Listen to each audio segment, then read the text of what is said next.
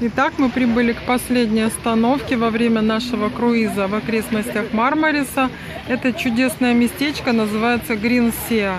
Гринсеа это означает зеленая вода. Прекрасная прозрачная вода.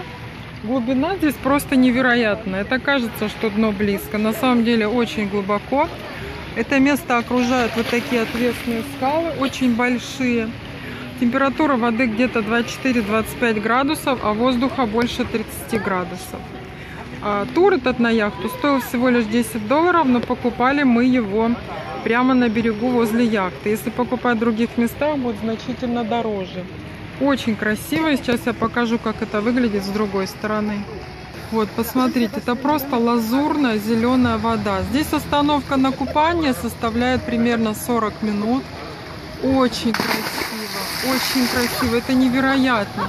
Я была в Турции во многих городах, и в Сиде, и в Алании, в Анталии, в Кемере. Но такое я вижу вообще впервые в жизни.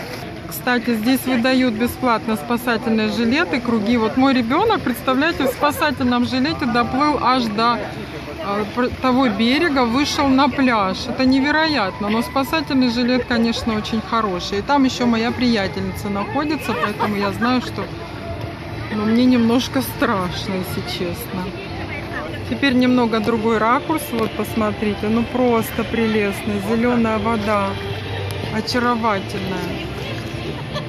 И вот у нас такие камни красивые. Ну просто, просто нереально. Нереально, нереальная красота. Это Гринсия, запомните. Это окрестности Мармариса, Гринсия называется.